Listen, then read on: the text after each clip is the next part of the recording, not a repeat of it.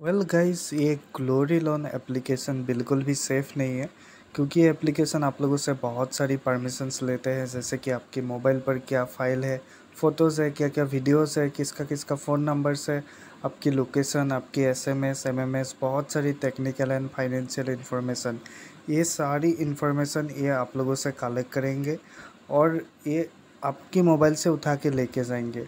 और ये एप्लीकेशन से अगर आप लोग लोन लेके एक भी दिन रिपेमेंट पे देर कर दिया तो इस एप्लीकेशन के जो भी लोन रिकवरी एजेंट्स होता है, वो लोग आपको कॉल मैसेज करके परेशान कर देगा।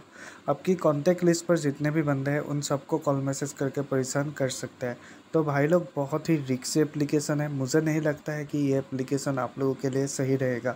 अगर आप लोगों को डायरेक्ट लोन अप्लाई करना है एंड आप लोगों को नहीं पता कहाँ पर अप्लाई करना है? मैं आप लोगों के लिए फ़िलहाल इंडिया में जो भी top ten personal loan applications है, उन सब का direct one click loan apply link आप लोगों के साथ शेयर कर दूँगा। इस वीडियो की कमेंट सेक्शन पर आप लोगों को एक आर्टिकल का लिंक शेयर कर दूँगा।